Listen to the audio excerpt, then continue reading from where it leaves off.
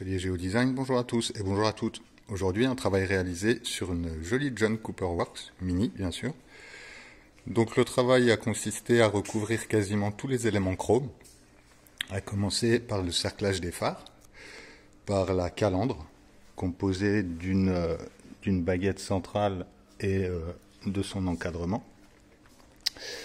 Ensuite, ensuite, euh, le client souhaitait les poignées. Ça, c'était une petite, comment dire, Petite difficulté, donc je lui dis que j'étais pas sûr de les passer.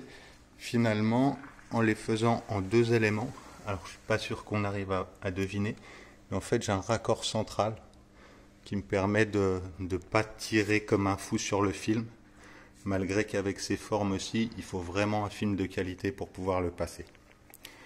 Ensuite, euh, bah, même traitement sur la, la trappe à essence qui était chrome,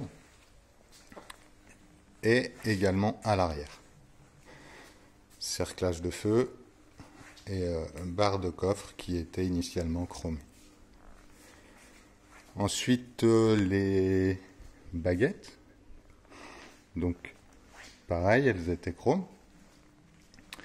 Et puis le client, le client souhaitait un traitement de vitrage intégral avec une teinte de 5% à l'arrière. 5% c'est le plus foncé que j'ai sachant que cette version a déjà une teinte masse sur les vitres latérales arrière. Donc ça fait vraiment très très noir. Après c'est ce qu'il souhaitait, donc euh, je pense qu'il sera satisfait. Euh, et, pour les vitres avant, 50%.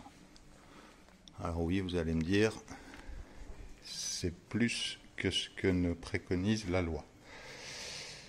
Mais ce client n'est pas français, nous dirons comme ça.